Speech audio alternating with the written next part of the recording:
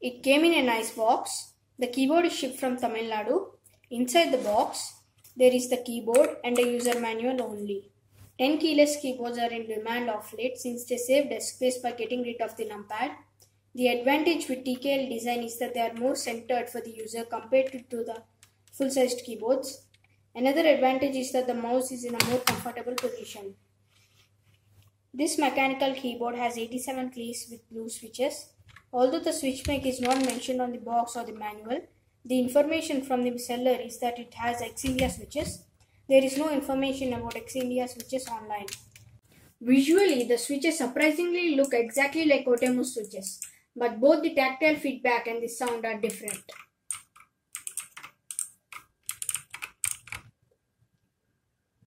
Actually, it feels like the switch is right between the blue Outemu switch and the red Outemu switch in terms of feedback.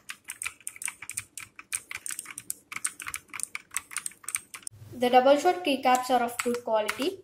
The backlight colors are neat and much brighter than other mechanical keyboards in a similar price range. There are 9 LED lighting modes which you can change by using the dedicated light key, function button and the arrow keys. The backlight animation speed changes according to the gaming intensity.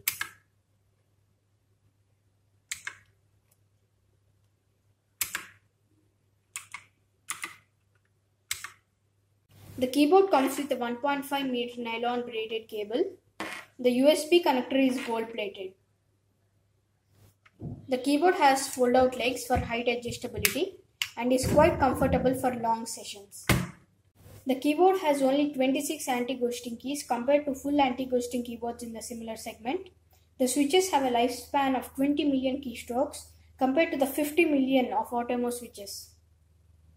We don't know if the switches can be pulled out individually and replaced. Besides, Xindia switches are unavailable online and compatibility with Outemu switches is unknown.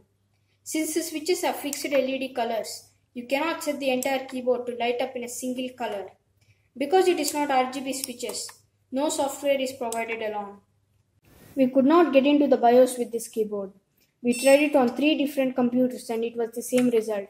It could also be that the USBs on our machines are powering up the keyboard only after the operating system starts booting. We could enter the BIOS with ordinary USB keyboards though. It's a nice keyboard in many ways. There are a few shortcomings, but which product doesn't have? You can buy it if it costs reasonably less than Ant Esports MK1000 or Cosmic Byte Firefly. This is Arjun and Vishnu reviewing the Coco Sports mechanical keyboard. Thank you.